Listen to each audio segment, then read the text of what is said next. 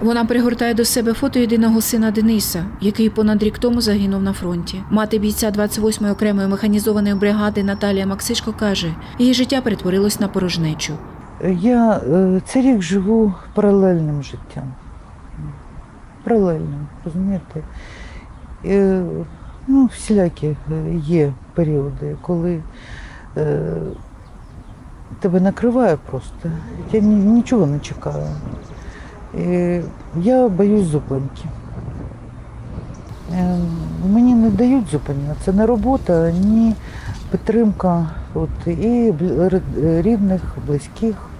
Торік, 14 березня, підрозділ Дениса Максишка, виконуючи бойове завдання під Миколаєвом, знищив блокпост ворога, вивів з ладу його техніку та завдав удару окупантам. Проте командир та його підлеглі самі потрапили під артилерійський обстріл, розповідає Наталія Максишко. Її син отримав поранення. Його не довезли до госпіталю, зупинилось серце.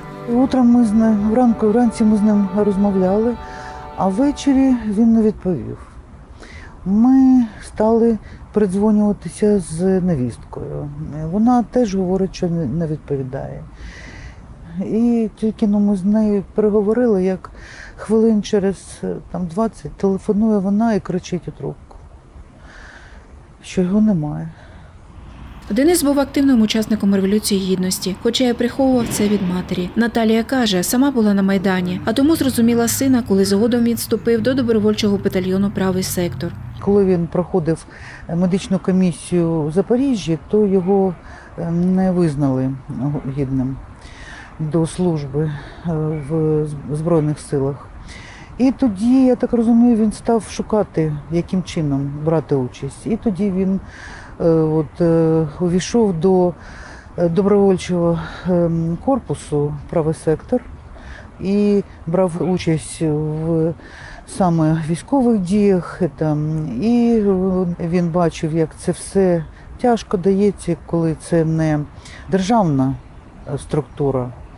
І е, то він вирішив піти в армію.